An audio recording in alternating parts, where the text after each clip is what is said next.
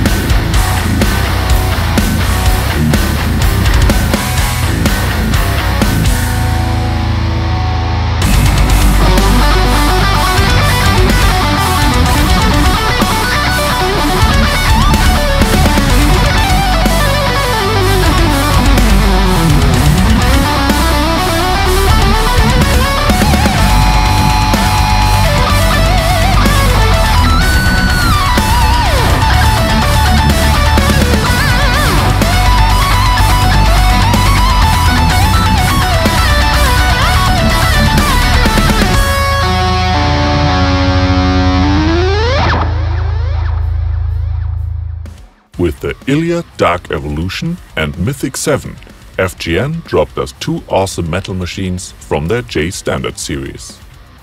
They both come with an ash body and an open pore finish.